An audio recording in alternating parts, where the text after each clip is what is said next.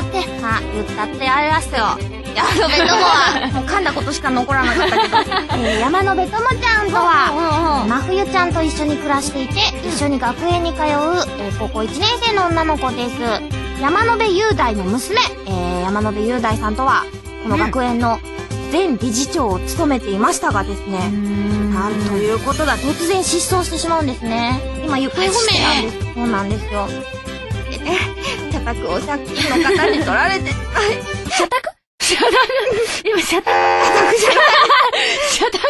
あの、お屋敷お屋敷。お屋敷ね。お屋敷ね。クラスメイトから嫌がらせを受けているという。ね、女の子です。でも、誰にでも優しく、おっとりとした性格で、サーシャも友にだけは心を開いている。ややへ天然ということで、ー。天然だね。友は確かに。巨乳でございます。あ、ね、あの物語にかなり熱く関わってくる部分なので、そこはかなり巨乳でございます。確かに。あ、ちょっとごめん。いい？ちょっと一言いい？うんおっぱい。おっぱい。よしちょっと待って、今の。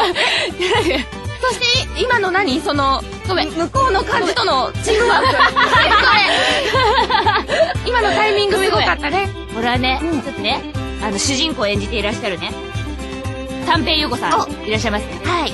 とね、ラジオの話をしていたときに、はいはいちょっと、これ言って、みたい。なるほどね。